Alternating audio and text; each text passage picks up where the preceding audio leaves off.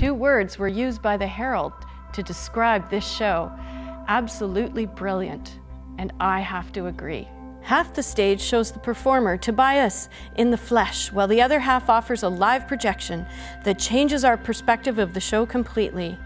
As a result of this technical genius, we get to enjoy a gravity defying spectacle and see the wizard behind the curtain at the same time.